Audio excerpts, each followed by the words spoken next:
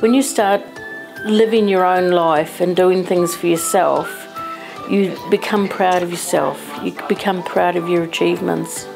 And I've seen the guys how far they have come. You know, some of the steps might be very small, but it's still they're achieving.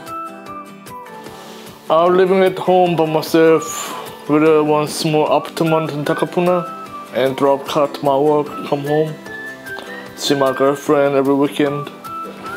It's a nice car to drive. It's an old car, but it's going okay, no problems. Um, my favorite thing to having car, I can go anywhere I want, see my girlfriend, see my friend, and go for a drive when I get bored. I love the summer.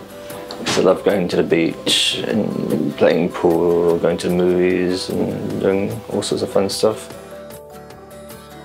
It's really exciting to see people that have lived under residential situations coming into the community and living a normal life. I haven't been down here for a while, eh? Just look at the boats. We all get together each week and catch up. We have a Thursday morning breakfast. And the guys are really good friends and they plan social events and go out. Last week we went to the pub with a group of people and it was really nice. Yeah, one of my goals at the moment is to get my restricted license. I'll have to go shop. I haven't done my shopping yet. Got to do my shopping. You know, so you can eat.